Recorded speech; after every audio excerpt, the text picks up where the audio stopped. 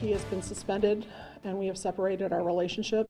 UW Oshkosh speaking out today on a federal ricin case, saying a student allegedly involved has been temporarily suspended. The school is also expressing its thanks to authorities for their quick work on the case.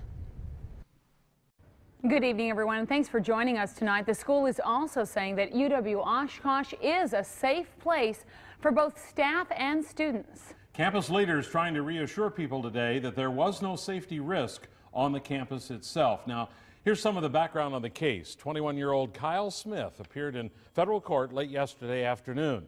He's charged with possessing the deadly poison ricin. The FBI says a vial of white powder found inside his Oshkosh home tested positive for the toxin.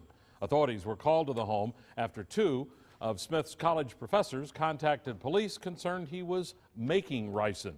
Fox 11's Alex Rinaldo joins us now live from UW Oshkosh, where campus officials spoke out today. And Alex, what more did you learn about the suspect? Well, Tom, I can tell you that uh, campus officials who spoke with us today said they couldn't tell us much about Smith's history here at the school. For example, they couldn't say whether he's ever gotten into trouble with the school in the past. They say that's because of state and federal laws. However, we do now know that Kyle Smith is from Sun Prairie and that he was a senior here studying biology. Now, now that Smith has been suspended, he can no longer be on UW Oshkosh property. School leaders say they won't pursue expulsion until court proceedings are finalized. Both the new college chancellor and the vice chancellor of student affairs spoke out on the ricin case for the first time today. They told us it's unclear whether Smith ever brought the toxin to campus, but said students were never in direct danger. They said two of Smith's professors became concerned because of statements he made.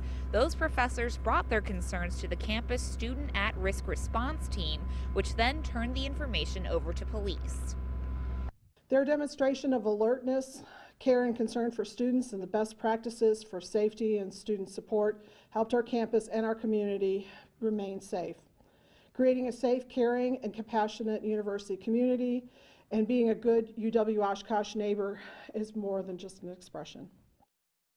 Now, school leaders say those two professors who reported Smith are unable to talk to the media because they're still involved in the ongoing investigation. Reporting live in Oshkosh, Alex Rinaldo, Fox 11 News.